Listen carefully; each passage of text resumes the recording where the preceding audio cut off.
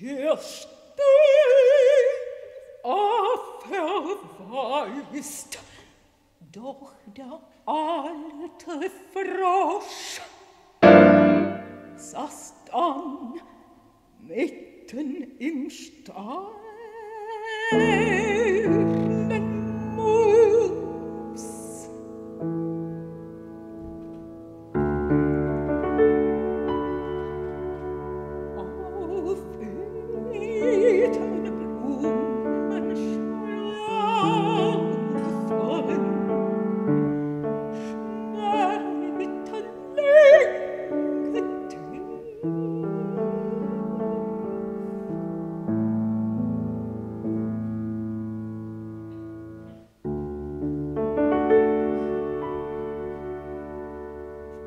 See?